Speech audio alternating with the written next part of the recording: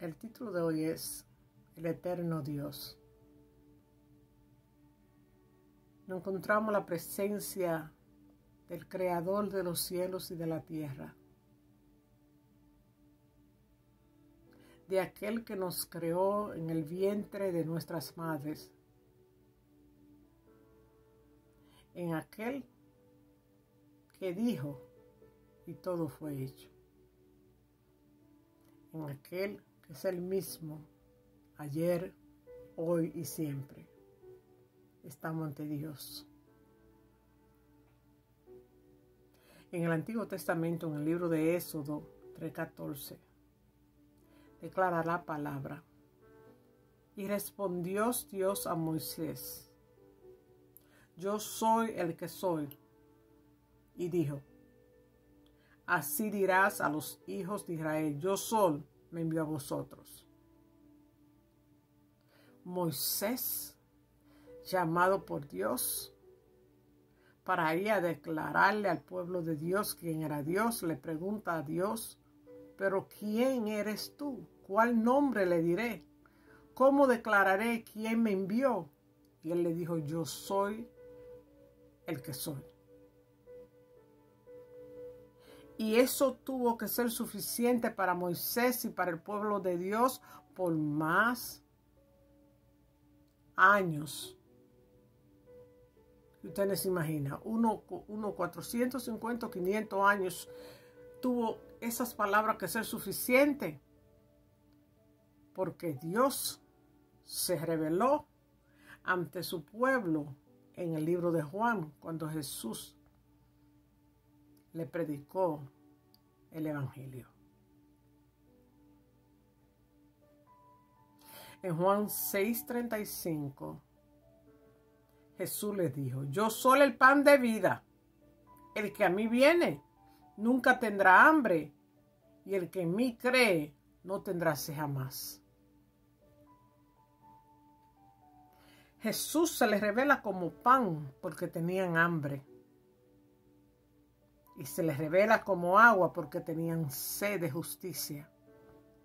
Ya el pueblo de Dios estaba perdido, había muchísimos grupos, estaban divididos, uno decía una cosa y otro decía otra. Ya no era el mismo pueblo que fue liberado del pueblo de Faraón, de, la, las manos del Faraón. Ya después de 450 años o más o menos 500, se habían olvidado de la ley de Dios. Entonces Jesús viene a establecerle a ellos quién era Él.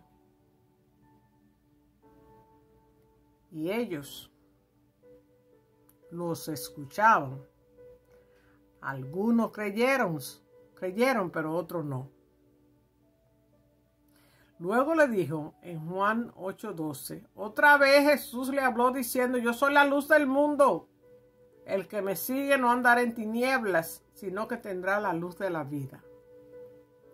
Le estaba diciendo, yo solo el que ha venido a alumbrarle a ustedes para que salgan de la oscuridad, para que salgan de las tinieblas y vengan a la luz divina.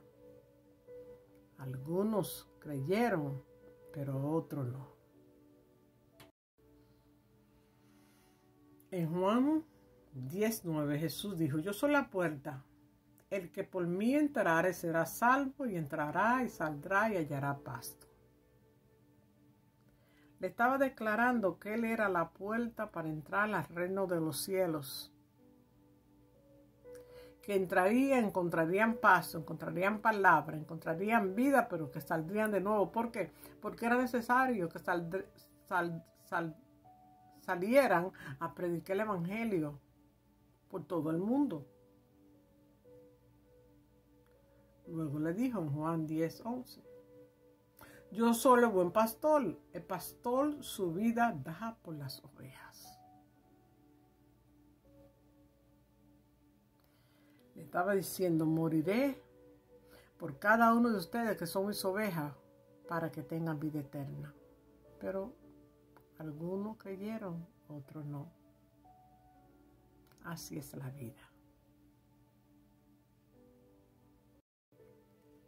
Luego le dijo en Juan 11, 25, 26, Le dijo Jesús, yo soy la resurrección y la vida.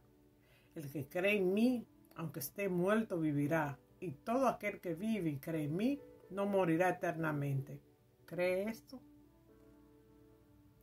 Jesús le habló claramente, yo soy la resurrección y la vida.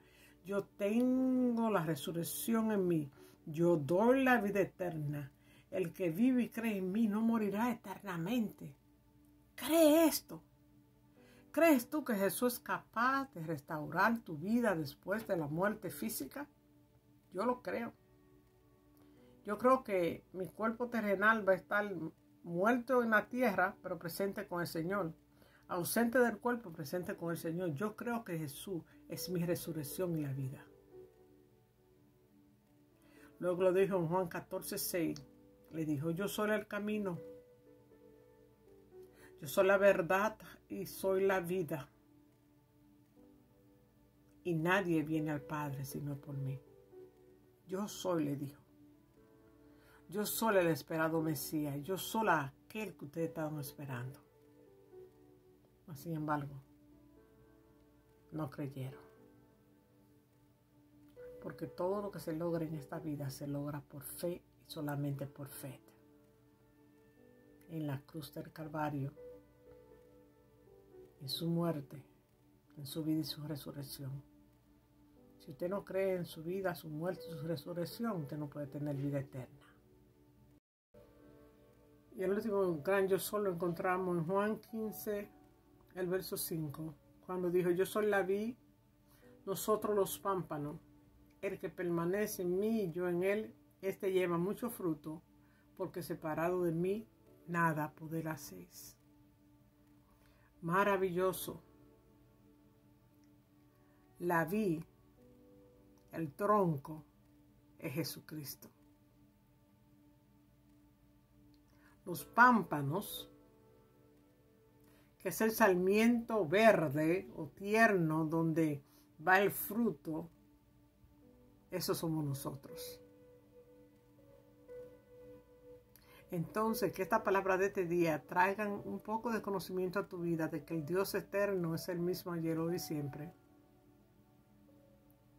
De que Dios proveerá siempre en tu vida porque es el pan de vida. De que tú nunca tienes que estar muriendo espiritualmente de hambre porque te ha dejado 66 cartas de amor para nutrirte la sed, quitarte la sed, satisfacerte eternamente que tú no tienes que andar en tinieblas porque Jesús es la luz del mundo que alumbra tu camino. Que tú no tienes que andar perdido porque es la puerta y siempre, siempre está abierta esa puerta para que tú entres a cualquier hora. Que Él es tu buen pastor que te guiará, te cuidará y te, y te sanará como ovejita de Dios.